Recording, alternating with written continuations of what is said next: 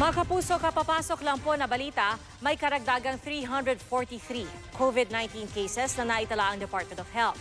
Sa kabuuan, 1,418 na ang COVID cases sa bansa as of 4 p.m. 71 ang bilang ng patay at 42 naman ang bilang ng gumaling na.